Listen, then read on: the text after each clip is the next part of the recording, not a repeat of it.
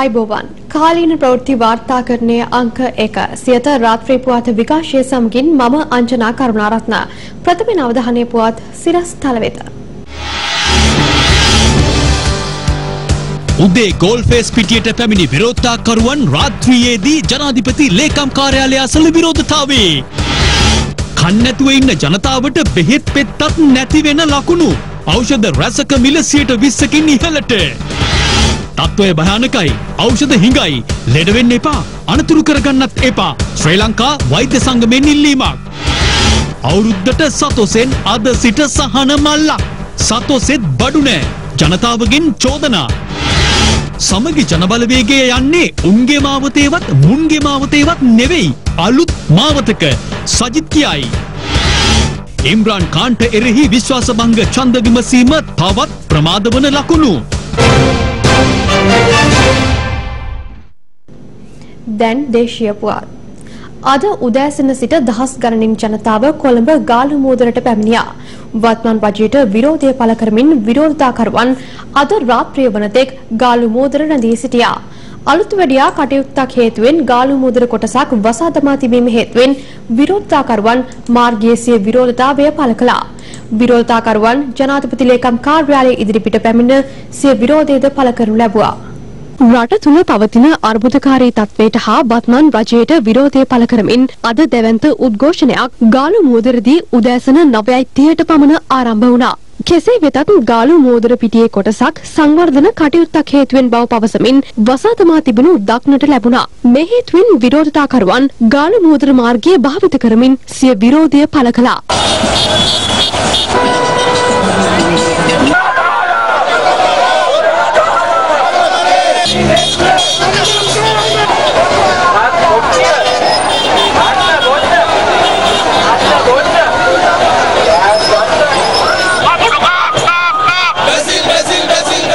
දිවයිනේ නන්දෙසින් පැමිණි උද්ඝෝෂකින් රජයට විරෝධය පළ කරමින් පාගමනින් ගාලු මූදර පිටියට පැමිණියා.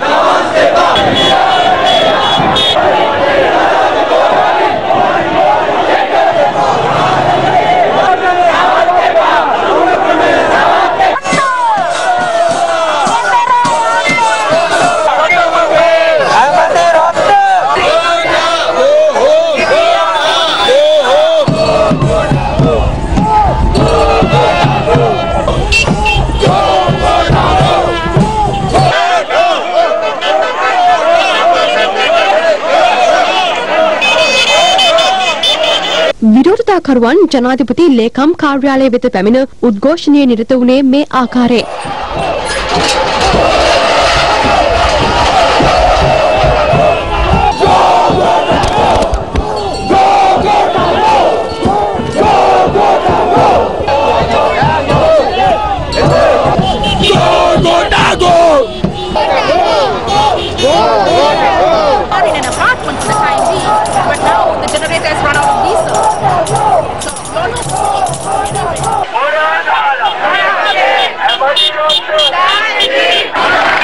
මේ හේතුවෙන් ගාලු මූදුර පිටිය අසල දැඩි රථ වාහන තදබදයක්ද හටගත්තා. වාහනවල ගමන් කරන පුද්ගලයින්ට නලා ශබ්ද කරමින් විරෝධතාවයට සහාය පළ කර සිටියා.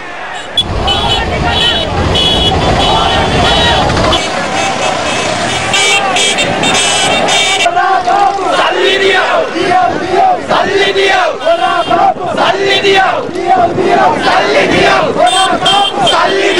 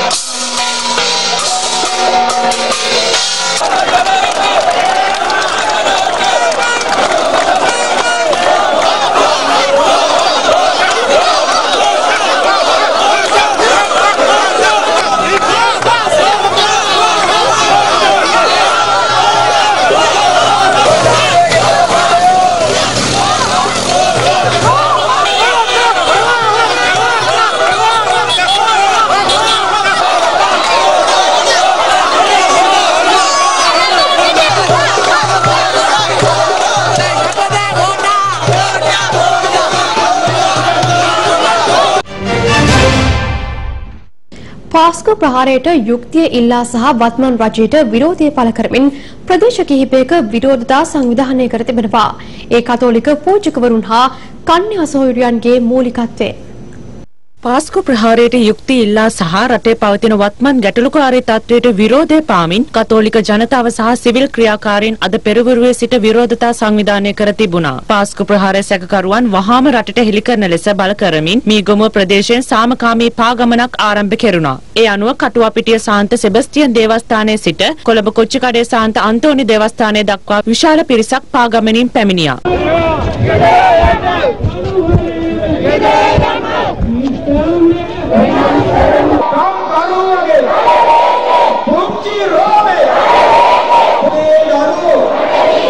පස්කුවට වැඩ බැරි නම් කාගෙදවේ අද රජයේ බලයේ ඉන්න රජය එදා ඡන්දයට ඉදිරිපත් වෙද්දී ඒ සිද්ධිය සම්පූර්ණයෙන්ම ඒගොල්ලෝ පාවිච්චි කළා. ඒගොල්ලෝ ජාතීන් අතර සැකය ඇති කරන්නට කටයුතු කළා. විශේෂයෙන්ම මුස්ලිම් ජාතිකයන්ට විරුද්ධව විවිධාකාරයේ බය ඇති කිරීම කරන්නට උත්සාහ කළා. මහ විනාශය පිටිපස්සේ කුමන්ත්‍රණයක් තියෙන්න පුළුවන් කියලා. දැන් අපිට එළිදරව් වේගන යනවා කුමන්ත්‍රණකාරයෝ කවුද කියලා. ඒ කුමන්ත්‍රණකාරයන්ට බලය අල්ලගන්න පුළුවන්. නමුත් බලය ආරක්ෂා කරගන්න බෑ. ඒ නිසා වෙන්නට ඇති අද වෙනකොට මේ රට කොයිම ආකාරයකටවත් ඉදිරියට ගෙනියන්න බැරි ව්‍යාකූල තත්ත්වයක් උදා වෙලා තියෙනවා. එමෙන්ම රටේ පවතින අර්බුදකාරී තත්ත්වයේ හේතුවෙන් රට වෙනුවෙන් දෙවියන්ට කරන කන්නලව්වක් සමග සාමගාමී විරෝධතාවයක් ලංකා සභා දේවස්ථානයේ ඉදිරිපිට අද පැවැත්වුණා. ඒ කතෝලික පූජකතුමන්ලා කන්‍යා සොහිරියන් හා ගිහි නියෝජිතයින්ගේ සහභාගීත්වයෙන්. මේ අතර රදුගුරු කීර්ති ශ්‍රී ප්‍රනාන්දු පියතුමන් ප්‍රකාශ කළේ පාලකයන් වහාම ජනතාවගේ පීඩාවන්ට සහන සලසා දීමට ක්‍රියා කළ යුතු බවයි. මේ වෙලේ දේශපාලන වාසි ගන්න යන්න එපා. මිනිස්සුන්ගේ දරිද්‍රතාවය තුල මිනිස්සුන්ගේ බඩගින්න නිවන්න. මේ ප්‍රශ්න යම් තාක් දුරට සමතකටපත් කරන්න උත්සාහ කරන්න. යම් කොටසකට යමක් බැරි වුණා නම් එය තවත් එල්ලිගෙන ඉන්න එපා. ඒ යටහත් පහත් වෙලා ඒ පුළුවන් කෙනෙක්ට ඒකට ඉඩ දෙන්න. මේක එක පවුලක නැත්තම් එක ජන කොටසක එක පාක්ෂික කාරණයක් නෙමෙයි මේක මේ රටේ කාරණයක්. ඒ නිසා මම කරුණාවෙන් ඉල්ලා සිටිනවා ඒ ගැන සාවධානව කල්පනා කරලා ඔබට කරන්න බැරි වුණා නම් ඒක අනිත්‍යයට අවස්ථාව ලබා දෙන්න ಜಾති කුල මල ભેද පක්ෂපාත ભેදකින් තොරව. මොකද මිනිසුන්ගේ දරිද්‍රතාවය වැඩි වුණොත් ඒ මිනිස්සු මොනවා කරයිද දන්නේ එමෙන්ම කතෝලික සභාවන් මගින් සංවිධානය කළ සාමකාමී පා ගමන් දිවයිනේ ප්‍රදේශ කිහිපයක පැවැත්වුණා.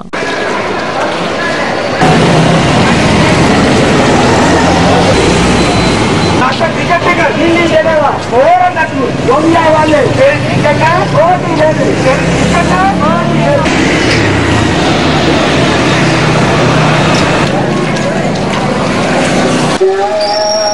All right.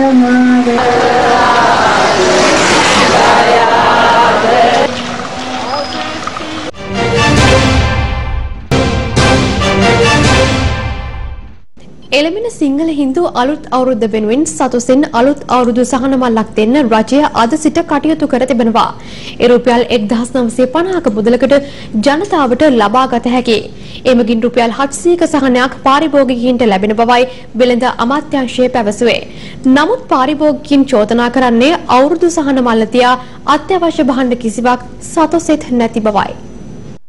එළබෙන සිංහල හින්දු අලුත් අවුරුද්ද වෙනුවෙන් දිවයින පුරා සතස අලවිසැල් මගින් අලුත් අවුරුදු සහන මල්ලක් අද සිට ලබා දීමට තීරණය කළා. වෙළඳ අමාත්‍යාංශය විසින් ලබා දීමට තීරණය කළ අදාළ සහන මල්ලට අත්‍යවශ්‍ය පාරිභෝගික භාණ්ඩ ද්‍රව්‍ය පහක් ඇතුළත්. නඩු සහල් කිලෝ පහක්, සම්බා සහල් කිලෝ පහක්, කිරිපිටි ග්‍රෑම් 400ක්, දුමුරු සීනි කිලෝ එකක්, තේකොළ ග්‍රෑම් 100ක් මෙම සහන මල්ලට ඇතුළත් වන අතර ඒ රුපියල් 1950ක මිලකට සතස අලවිශාකා මගින් ලබා ගත හැකියි. වෙළඳ අමාත්‍යංශය පැවසුවේ එමගින් රුපියල් 700ක සහනයක් පාරිභෝගිකයන්ට හිමිවන බවයි. නමුත් සතස අලවිසැල් වල අවුරුදු සහන මල්ල සහ අත්‍යවශ්‍ය භාණ්ඩ හිඟයක් ඇති බව දක්නට ලැබුණා. මන්නම් දන්නේ නැහැ මට නම් හම්බුනේ. සීනි නම් නැහැ. සීනි ගන්නවා පරිප්පුත් නැහැ සීනිත් නැහැ. ටීවී එකේ තමයි තියෙන ඔක්කොම සතෝෂේ නැහැ. පොන්නි සම්බා තියනවා කියලා පොන්නි නාඩු තියනවා කියලා කියන මොකුත් නැහනේ. කිසි දෙයක්වත් නැහැ. එළියට වෙලා සිකියුරිටි වෙලා එළියට වෙලා ඉන්නවා. ඉතින් අපි මොකද කරන්නේ අපි හැරලා යනවා ඉතින්. කාටවත් විශ්වාස කරන්න බෑ බඩු තියෙන විදිහට තමයි තියෙන කඩේ. එතුළට ආවම කිසි දෙයක් නැහැ. තියෙන විදිහට කාලය යන්නයි තියෙන්නේ. අවුරුදුත් නැහැ. කොහමද අවුරුදු නවරන්නේ? අත්‍යවශ්‍ය භාණ්ඩ යාලට අත්‍යවශ්‍ය මේක අත්‍යවශ්‍යද? මේක ගන්න ඕනේ මේක මොකටද කියලා දන්නවනේ. වාතයට තමයි මේක ගන්න ඕනේ. මේක කාලා පාර්ලිමේන්තුවේ ගිහිල්ලා වාඩි වෙන්න ඕනේ. වාතෙන් නැතුව. පවුල් පිටින් මැරෙන්න වාටයක් හම්බුණා හොඳයි කියලා එතන මාත් අවුරුදු නෙමෙයි ඕනේ. ඕ මාත් මේ ආවට කිසිම දෙයක් නැහැනේ. බිස්කට් විතරයි තියෙන්නේ. කටින් විතරයි යවදෙන්නේ. බඩු නෑ පේනවනේ දැන්.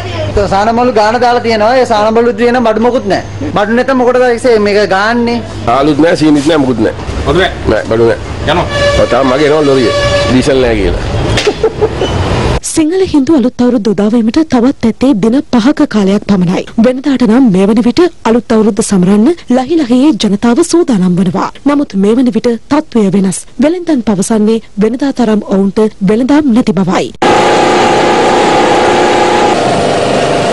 අවුරුදු බිස්නස් නම් ගන්න දෙයක් නැහැ. වෙන්ද තීච්ච බිස්නස් වලින් හතරෙන් එකක්වත් නැහැ. සෙනගත් නැහැ. වෙන්ද කෑලි දෙකක් තුනක් ගන්න මිනිස්සයා එක කෑල්ලක්වත් ගන්න බොහොම අමාරුවෙන් හෙට්ටු කරලා ඉල්ලන්නේ. හෙට්ටු කරලා දෙන්න විදියකුත් නැහැ බඩුවල මිලේ හැටියට. ගෙනාපු බඩු ටිකවත් තාම විකුණ ගන්න විදියක් නැහැ. බිස්නස් නම් ගොඩක්ම අඩුයි. පාරවල් වල මිනිස්සු ඇත්තෙම නැහැ. ඉතින් ගොඩක්ම මේ වෙලදාම අඩුයි. අපිට ගොඩක් අමාරුවෙන් මේ කරගෙන යන්නේ.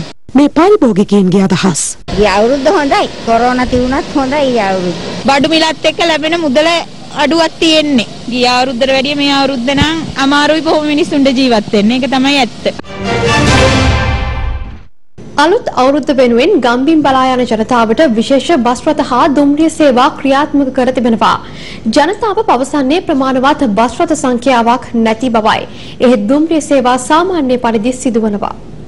සිංහල හින්දු අලුත් අවුරුද්ද වෙනුවෙන් ජනතාව මේ දිනවල සිය ගම්බිම් බලා පිටත්ව යනවා. කොළඹ සහ තදාසන්න ප්‍රදේශවල සිට දුර බැහැර ගම්බිම් බලා යන සහ එන මගින් වෙනුවෙන් විශේෂ ප්‍රවාහන සැලැස්මක්ද මේ වන විට ආරම්භ කර තිබෙනවා. ඒ ශ්‍රී ලංකා ගමනාගමන මණ්ඩලය, ජාතික ගමනාගමන කොමිෂන් සභාව, මාර්ගස්ථ මගී ප්‍රවාහන අධිකාරියට අයත් බස් රථ සහ ශ්‍රී ලංකා දුම්රිය දෙපාර්තමේන්තුව එක් කරගනිමින් මේ කොටුව දුම්රිය ස්ථානයේ සහ ප්‍රධාන බස් නැවතුම්පලේ අද පැවති තත්ත්වයයි.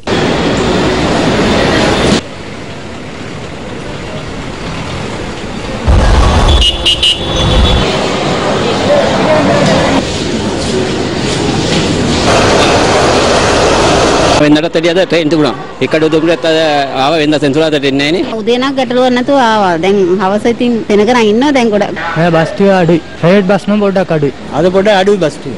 එම්බිලි පිටි බස් අඩුයි. අනිත් බස් ඔක්කොම අඩුයි. අද ගොඩක් අඩුයි බස්. මම බදුල්ලේ යන්න ඉන්නේ මේ තාම බස් එකක් නැහැ. ප්‍රයිවට් බස් ගොඩක් අඩුයි. වෙනදාට නම් කොච්චර සෙනගක් ඉන්නවද නේද? සැරේ හුඟක් අඩුයි සෙනග. ඔය සිටි බස් ඔක්කොම තියෙනවා.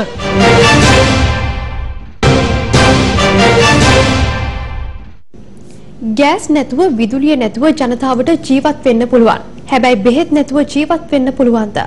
අද රටේ ඖෂධ හිඟයි. හොයලා හොයලා ගන්න බෙහෙත් පෙත්තත් ගිනි ගණන්. මේ අතරේ ඖෂධ වර්ග රසක මිල ඊයේ සිට 120කින් යලි වැඩි කරන්න අවසර ලබා දී තිබෙනවා. මේ වන විට රටේ පවතින අර්බුදකාරී තත්ත්වය හමුවේ ජනතාව අන්ත අසරණ වෙලා. තෙල් නැතිව හිටියත් විදුලිය නැතිව හිටියත් අපිට ඖෂධ නැතිව ජීවත් වෙන්න බෑ. මොකද එතන තියෙන්නේ තවත් කෙනෙකුගේ ජීවිතයක් වෙන්න පුළුවන්. පවතින ඖෂධ අර්බුදයට විසඳුම් ඉල්ලා පසුගිය දින කිහිපය පුරාවට සෞඛ්‍ය වෘත්තිකයින් පාරට බැස්සා. කෙසේ නමුත් මේ අර්බුදකාරී තත්ත්වය හමුවේ මීට පෙර ගැසට පත්‍රය පළ නොකරන ලද අත්‍යවශ්‍ය නොවන ඖෂධ නිෂ්පාදනවල මිල ගණන් ඊයේ සිට බලපැවැත්වෙන පරිදි ඉහළ නැංවීමට අනුමැතිය හිමිව තිබෙනවා. ඒ අනුව 120ක උපරිමයකින් ඖෂධ මිල ඉහළ නැංවීමටයි ඖෂධ නියාමන අධිකාරියේ අනුමැතිය හිමිව ඇත්තේ.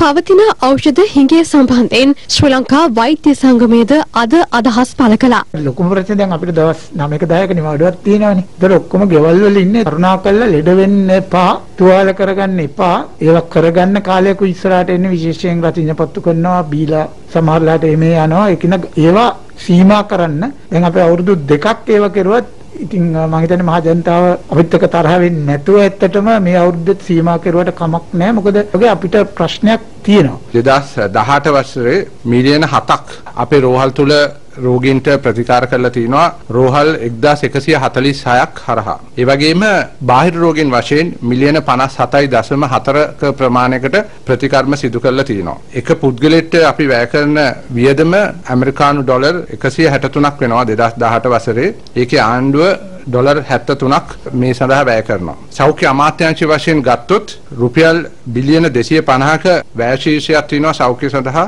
2018 වසරේ විශේෂයෙන්ම කැපිටල් එක්ස්පෙන්ඩිචර් කියන කොටසට බිලියන 40ක් වැය වෙනවා. දැන් මේ සංඛ්‍යා ලේඛන හරහා පෙන්눔 කරන දේ තමයි අපි කොච්චර ප්‍රමාණයක් සෞඛ්‍ය සඳහා වැය කරනවද ඒ වගේම ආර්ථිකය කඩා වැටුණු අවස්ථාවක මේ වැය ශීර්ෂය කොහොමද පියවගන්නේ. ඉතින් මේ ගැටලුව හරහා අපිට එදින්දා වැඩ කටයුතු පවත්වාගෙන යෑමේ ලොකු ප්‍රශ්නයක් ඇති වෙනවා. ළමා රෝග ගැන ගත්තොත් ළමයින්ට රෝහලකට ඇතුළත් කරාම රෝහල් පද්ධතිය තුළ ඔවුන්ට අවශ්‍ය සේවාවන් සපයන්න. එතකොට ගැටලු ඇති වෙන්න පුළුවන්. ඔවුන්ට අවශ්‍ය ඖෂධ දැන්ට සීමා වෙලා තිනවා.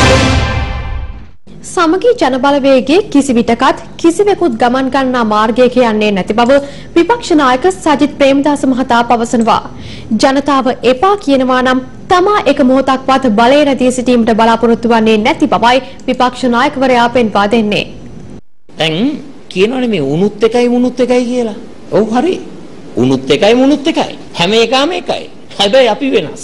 දැන් අද රටේ ඖෂධ හිඟයක්, උපකරණ හිඟයක්. ආණ්ඩුවට මොනවත් කරන්න බෑ. අපි අපි විපක්ෂේ. අපිට බලයක් නැහැ. ආණ්ඩුව ඩොලර් හිඟමනේ යනවා.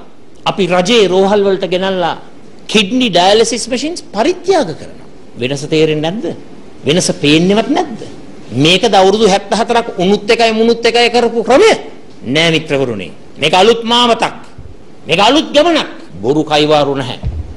අපිටත් වැඩ බැරි නම් ජනතාව ඵලයන් කියනකම් අපි බලන් ඉන්නේ නැහැ. අපිටත් වැඩ බැරි නම් අපි යනවා යන්න ගෙදර.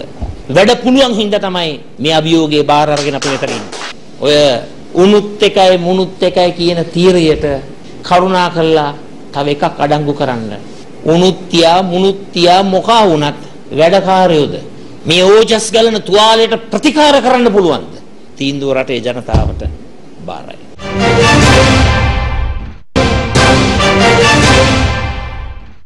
සුපිරි නළු විල් ස්මිත්ට වසර 10ක කාලයක් ඔස්කා සම්මාන උළෙල තහනම් කර තිබෙනවා.